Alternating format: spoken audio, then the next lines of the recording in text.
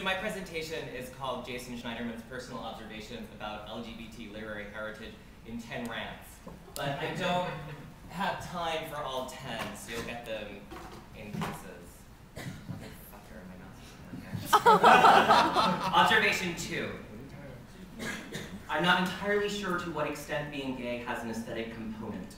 I mean, personally, I'm an old school Joan Crawford and Bette Davis movie watching queer who wants nothing more than to go to the sing-along sound of music and scream the words to I am what I am at the after party for a revival of Gypsy. But that's really a very specific idea of gayness. And while it was the dominant one for 50 years or so, we can think broader, right?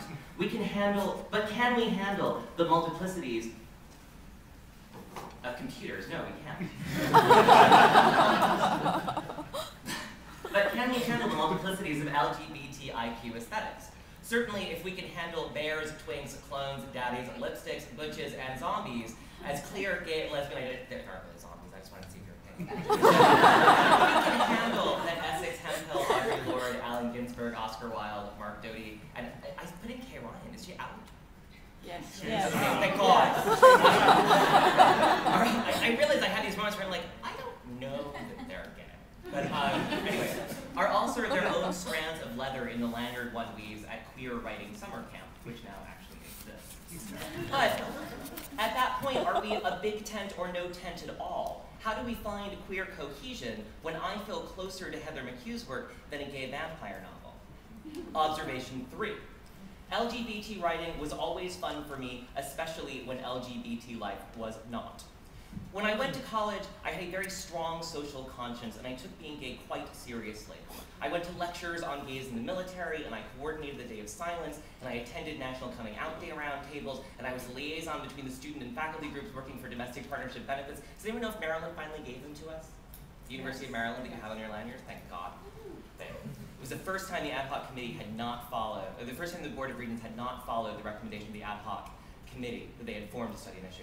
So, my point is that it sucked. Um, we didn't get domestic partnership benefits. Don't ask, don't tell came down the pipe. And the day of silence is stupid. Like, I'm supposed to not talk for, like, a day.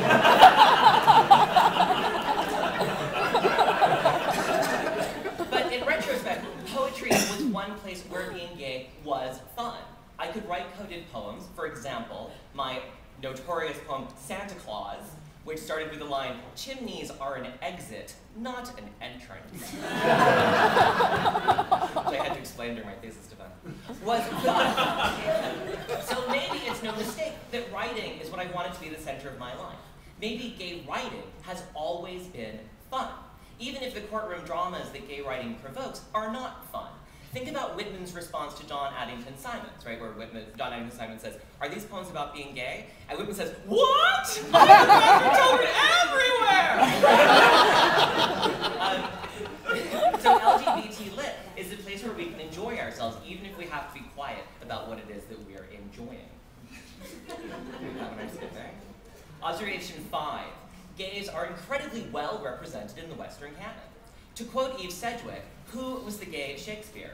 Who was the gay Proust? Who was the gay Socrates? Duh. Maybe we can convene a panel on finding the heterosexual Shakespeare. Though heterosexual sounds very clinical, and I think they like to be called straight. in pointing out that Shakespeare was the gay Shakespeare, we risk again losing our center of gravity and dissipating our identity. If we're at the center of the canon already, what's to talk about?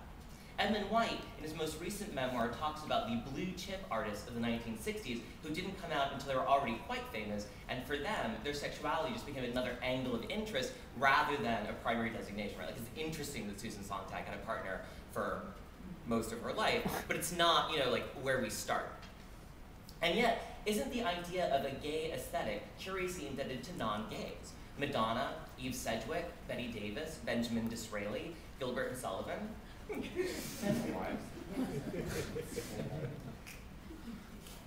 I'm on time.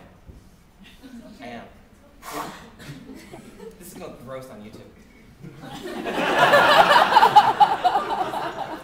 Observation six.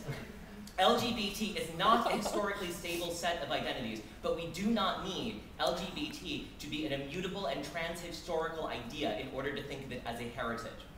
So I've written at length about this elsewhere, but I really think that the notion of LGBT heritage is difficult because it's hard to really pin down what those letters mean and how they've meant it through time. So to take our most recent letter, T, think about how our notion and idea of trans is dependent on technology and the, possibles, the possibilities of medical intervention. There's something fascinating to me about the fact that the cover of Stone Butch Blues declares it to be the novel that first spoke the word transgender, and yet the word transgender is never in the novel. And the happy ending is not when Jess is accepted as a man, though Jess successfully and unhappily passes as a man for part of the book. But rather, when, Jen, when Jess is called sister and is embraced as a woman on her own terms. It seems to me that within trans, there are two competing notions of gender. One that rejects the gender binary as oppressive, and regards body modifications as all being of a part. So my taking Accutane or having a nose job is not all that different from top surgery, right? I don't have to like find some psychiatrist and insist that I was like, I'm really a clear-skinned man. I just want this aspect of right? and another that embraces the gender binary and insists that surgery is a corrective because one belongs in a different body. I'm not suggesting that this contradiction should be decided for one side or the other. What I'm saying is that even within a single identity, there seems to me that there are contradictions which need to be explored and enjoyed, but they complicate the notion of heritage and identity. So was Gertrude Stein trans? Was Vernon Lee trans? Was Quentin Crisp trans? In part, the point of LGBT, or the word queer or queer, um, is to delay this sort of pinning down. Clearly, Gertrude Stein was LGBT or queer, but we can leave open the possibility of how to understand her rather than getting all structuralist on her and demanding that her body and desires yield to categories that we can easily name. And yet, LGBT or queer are categories we can name. I'm arguing that there is value in the dis-ease of that naming. And if you will consider Foucault as a kind of foundational figure, you know I Foucault, right? so, we, were, we, were last year, and they all say it like he's French, like Foucault. I'm from Maryland, so I'm going to say Foucault.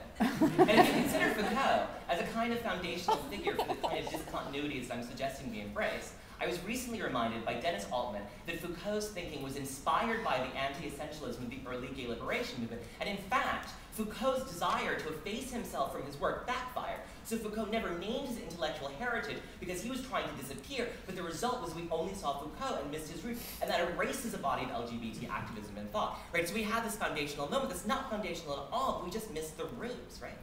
Okay. the argument of black, you know, Observation eight. We kind of don't know what to say about AIDS right now. My husband and I were listening to a remix of Sidewalk Talk, and my husband was like, this is really depressing. And I was like, because it's all synthy and layered and felt super sophisticated in the 80s, but now it feels like a two-year-old could mix it. He was like, no, because it reminds me of New York and AIDS-ravaged 80s. When you look over for Poets for Life, which is an anthology of poetry about AIDS that Michael Klein edited in the 1990s, you would be shocked by what's there.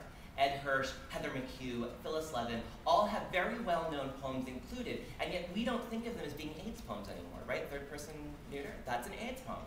Um, in a certain way, the poems that we still know are about AIDS are by Mark Doty and Marie Howe, Tory Dent, Essex Hemphill, the people who had their lives unmistakably altered by the disease, sometimes ended by the disease, and whose work was unmistakably about it. It would be a mistake to think of David Groff's recent anthology, Persistent Voices of Poets, lost to AIDS as a capstone, and yet it does mark the end of a certain era of devastation. We still live with AIDS, even if it has changed so much since those dark days of the 1980s. And often, my first book is about my husband's HIV status, and people will often come to me after a reading and be like, is your husband okay? And I'm like, what, what happened? Like, what was it, like, did someone not tell me something that I was reading? And I'm like, oh, right, you read, you don't know that protease inhibitors are really successful for him. But they weren't for everyone. Um, it's just that protease inhibitors have changed the face of HIV, which is a terrible, terrible phrase. I apologize for it, but it's a placeholder for something that has to go there. Um, but the point is that HIV AIDS shaped the gay community in significant ways that we have yet to really understand or build on in a new era. And this is a very hard conversation to have without acknowledging the severity of racism in the gay community and the very stressing ways the conversations about HIV and AIDS often precipitate some extremely heavy earthquakes as the fault lines of race, class, and geography are put under pressure. And I would, I would strongly suggest here, at Lisa Duggan's Twilight of Equality is um, a really great read to look at. Observation 10. It's exciting to me that we can sort of enjoy LGBT identities in all their complexities and messiness. I want to acknowledge our complexity and difficulty so we can get ourselves together. In all of this, I've forgotten to say that I felt nurtured by queer writing and queer writers, that I'm incredibly grateful for writers like David Trinidad, Andrew Holleran, and Wayne Koestenbaum because they expanded my idea of what a gay life could be and what my writing could encompass. The importance of building the heritage I spent eight minutes complicating is it allows us to lead more fulfilling lives. At the base of LGBT identity is the belief in the importance of desire and the fulfillment of that desire. Literature offers us intimacy and a spectrum of similarity and difference that we embrace because it makes us whole. It guides us and goads us and creates new desires and new fulfillments. That spectrum is severely impoverished when LGBT voices are silenced, misrecognized, or discounted. I am grateful that I can think about this body of work in difficult ways because the groundwork has been laid for it to be thought about